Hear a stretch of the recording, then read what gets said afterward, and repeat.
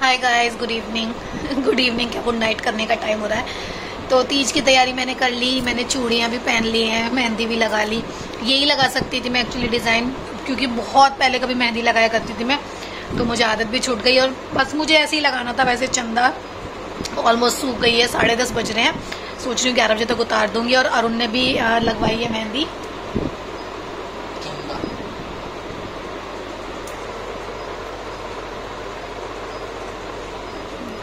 अरुण भी कह रहे हैं कि मैं कल ग्रीन शर्ट पहनूँगा वैसे तो उन्होंने अभी ग्रीन सी ही है ये जो टी शर्ट पहन रखी है।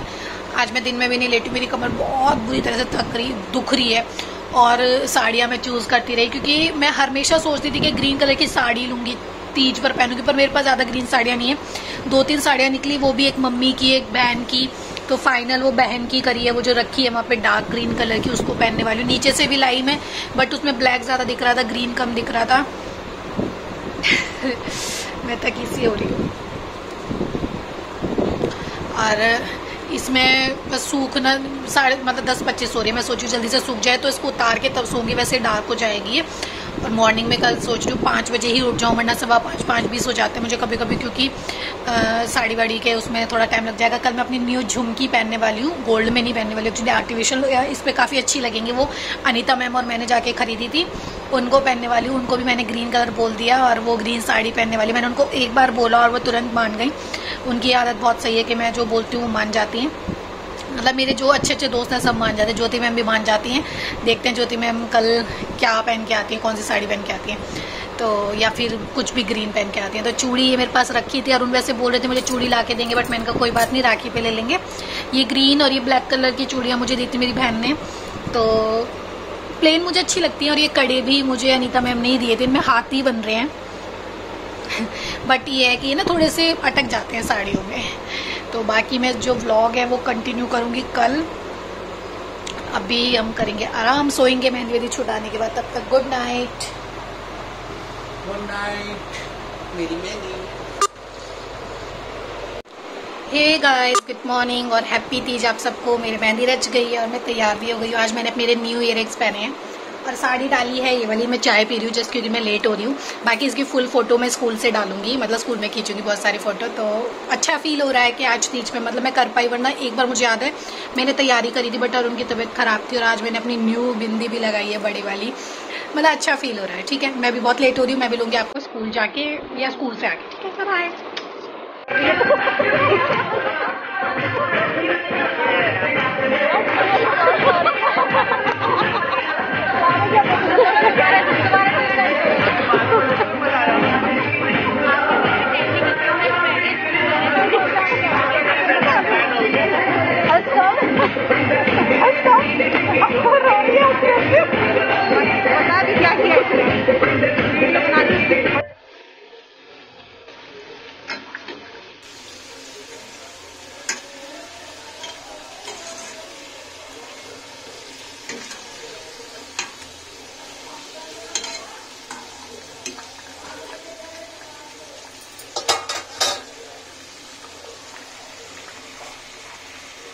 hey guys good evening तो फाइनली शाम हो गई है साढ़े सात और अभी मेरा थोड़ा सा ग्रीन ग्रीन हो गया है। अभी जस्ट जस्ट अभी मैं खाना बना के फ्री हुई हूँ। मैंने आज खस्ता कचौड़ी बनाई है, दाल की, दाल का हलवा बनाया है। मूंग की दाल का हलवा मुझे बहुत पसंद है और कल मॉर्निंग की वो तैयारी वगैरह करी है। आज का दिन काफ़ी अच्छा रहा। मतलब स्कूल में काफ़ी अच्छा था।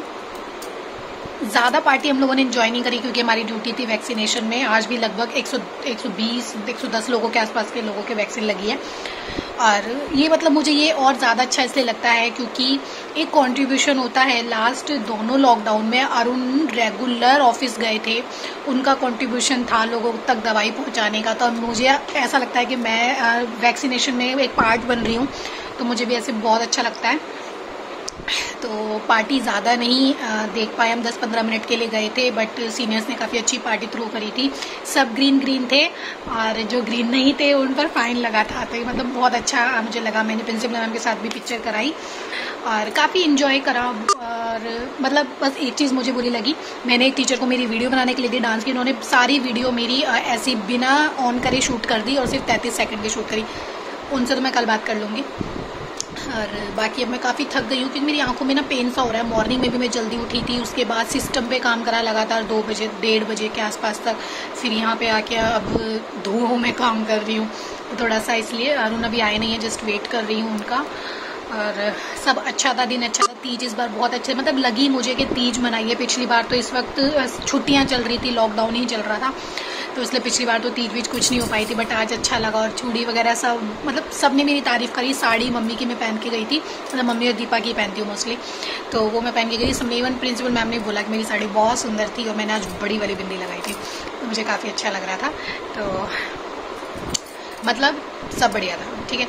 अब खाना खाते टाइम मैं मिलूँगी आप लोगों से, दिखाऊँगी कि मैंने क्या क्या बनाया कैसे कैसे बनाया और अरुण को कैसा लगा। तब तक के लिए बाय तो देखिए गाइस खस्ता कचौड़ी बिल्कुल मार्केट जैसी बनी है। ये है मेरा हलवा।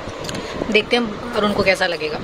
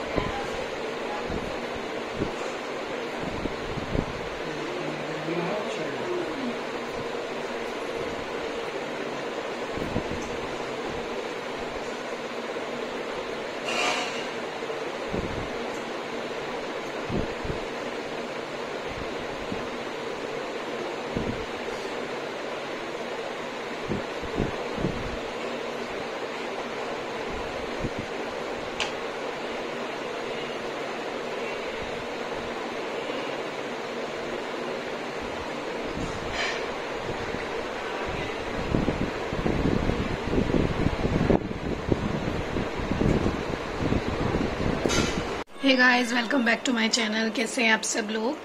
तो आज है फोर्टीन ऑफ़ अगस्त हाँ तो हमारे स्कूल में कल ही इंडिपेंडेंस डे सेलिब्रेट हो गया था।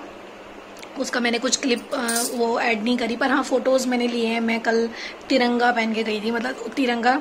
ऊपर नीचे हो रहा था तो जो जो मैं अरेंज कर पाई, क्योंकि मेरे पास खुद से कोई वाइट सूट वगैरह नहीं था, वो भी मैंने मम्मी जी का, उनकी ऑरेंज सलवार मिल गई तो एक ग्रीन दुपट्टा ले लिया तो मतलब तिरंगा उल्टा हो गया था बट मैंने पहन लिया था। मेरी तबीयत थोड़ी सी सही नहीं है। जैसे मैंने क्लिप भी ऐड करी कि मेरा ब्लड टेस्ट हुआ था, उसके बाद कल भी मैं अपना ब्लड टेस्ट करा के आई हूँ। कल भी लगभग इतनी बड़ी बड़ी मैंने सात शीशियाँ ब्लड निकलवाया है, जो मेरे मुँह से आपको दिखाई दे रहा होगा। मैं थोड़ा सा वीक फील कर रही हूँ, इसलिए मन भी नहीं कर रहा था कोई वीडियो वगैरह शूट करने का। और आज सेकेंड सैटरडे है तो आज छुट्टी है मेरी। और मेरी साड़ी आ गई है, मैं आपको दिखाती हूँ। जो साड़ी मुझे तैयार करानी है, राखी के लिए।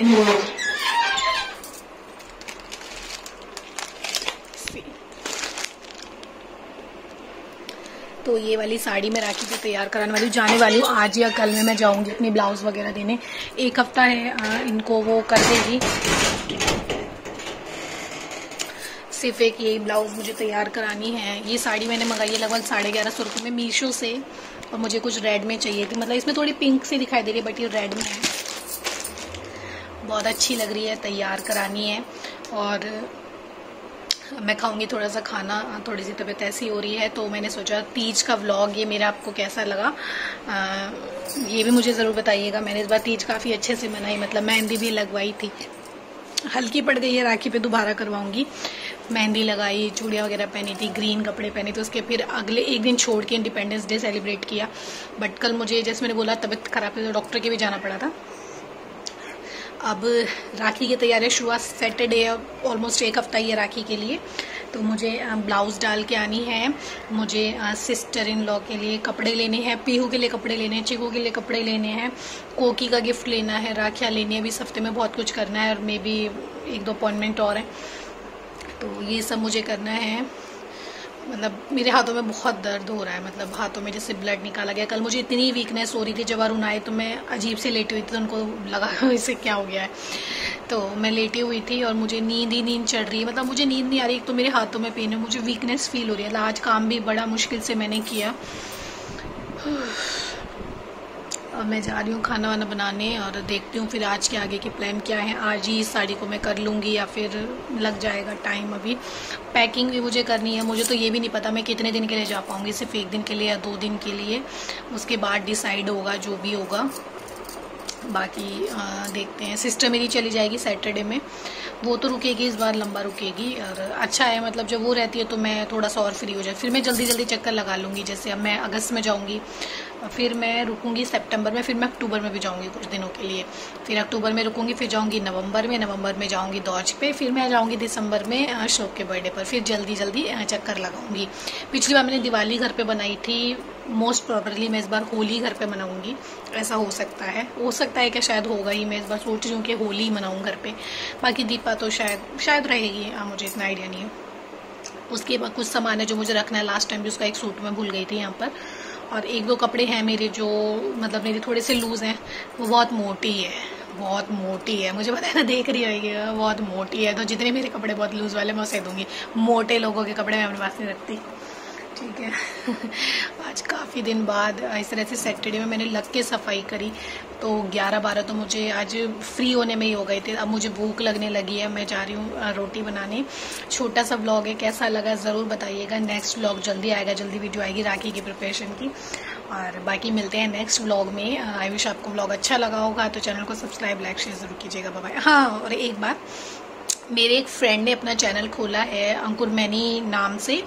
मे भी शायद, अंकुर, मैंने व्लॉग्स मैं लिंक डालूँगी नीचे। आप लोग उनके चैनल को सब्सक्राइब ज़रूर कीजिएगा। बहुत अच्छे व्लॉग होते हैं। न्यूली मैरिड कपल हैं वो दोनों। उनके व्लॉग्स होते हैं तो ज़रूर आप देखिए। और उनकी डांस की वीडियोस भी उसमें काफ़ी अच्छी अच्छी हैं। मतलब मेरे काफ़ी अच्छे दोस्त हैं मैं मतलब बहुत टाइम से मैं उनको जानती हूँ। तो आप, उन्होंने एक न्यू चैनल स्टार्ट किया है तो आप लोग उनको भी सपोर्ट कीजिएगा प्लीज़ और चैनल का मैं लिंक दे दूँगी। चैनल सब्सक्राइब ज़रूर कर लीजिएगा। बाय